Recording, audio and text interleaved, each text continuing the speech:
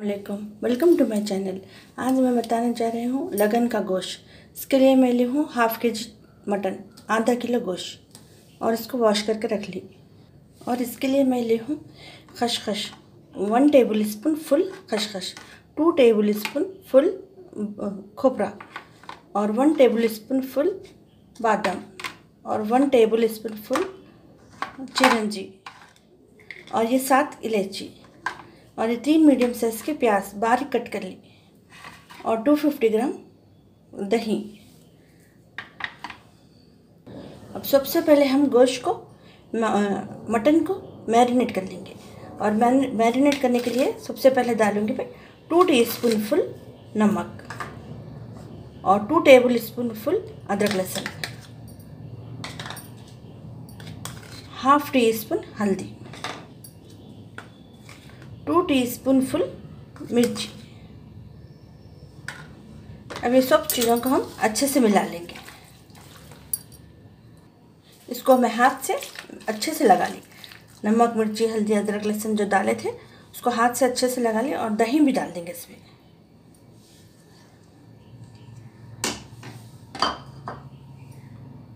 अब दही को भी अच्छे से मिला लेंगे।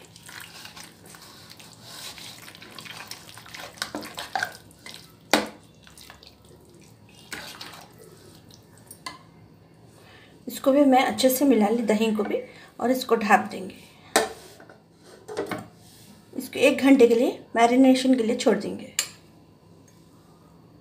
जब तक हम ये मसालों का पेस्ट बना लेंगे खोपरा, खशखश, चिरंजी और बादाम, ये चारों को एक जगह करके इसका पेस्ट बना लेंगे। और ये प्याज को बिरयानी के प्याज की तरह गोल्डन ब्राउन तल के फ्राई करके निकाल लेंगे। और इलायची का पाउडर बना के रख लेंगे। ये छिलके इसके निकाल के, इसके बीज का पाउडर बना के रख लेंगे। और मैं बोली नहीं, ये खोपरा, खशखश और चिरंजी ये तीन चीज़ों को मैं रोस्ट करके रख ली। ये हमारा एक घंटा हो चुका है और गोश्त मैरिनेट हो गया। चलिए, मसालों का मैं पेस्ट बना के रख ली और प्याज को गोल्डन फ्राई करके रख ली और इलायची का पाउडर। और हरे मसाले में एक कोतमीर का पंच, एक पुदीने का पंच, दो लेमन। अगर लेमन बड़ा रहा तो एक बस जाता। छोटे रहने से मैं दो ली और एक चार हरी मिर्ची। इसको बारीक कट करके धो के रख लेंगे। पकाने के लिए और थ्री टेबल स्पून ऑयल डाली। और ये ऑयल प्याज तले से ऑयल है। और इसमें वन टेबल स्पून डालडा घी।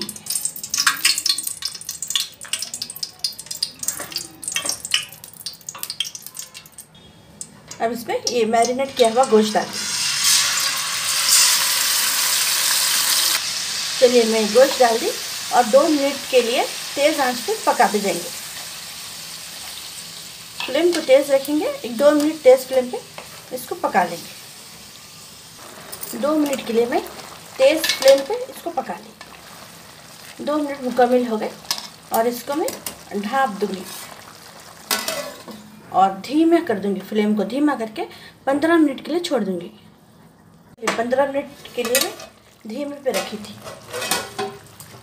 अब इस गोश्त को चेक कर लेंगे।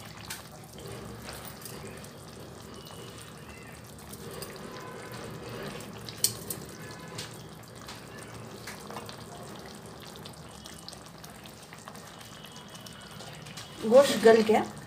तकरीबन गोश्त गल चुका है। अब इसमें पेस्ट डाल देंगे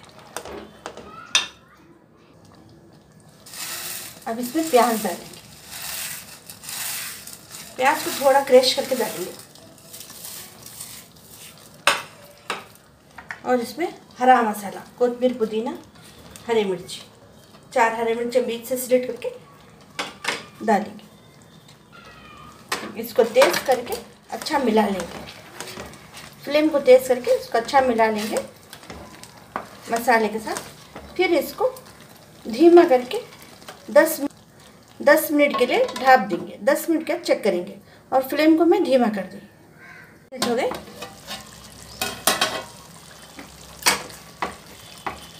इसमें थोड़ा सा पानी डालेंगे।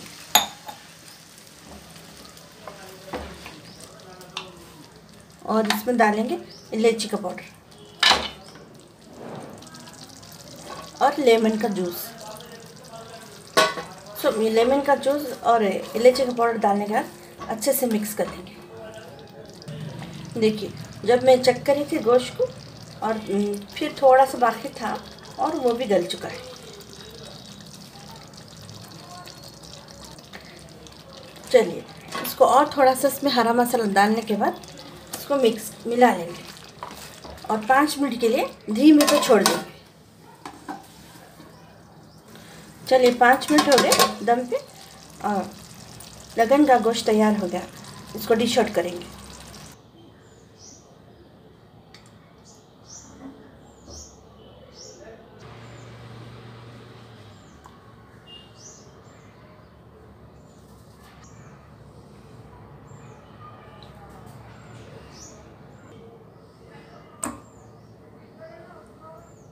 गोश्त की रेसिपी मुकम्मल हो चुकी है।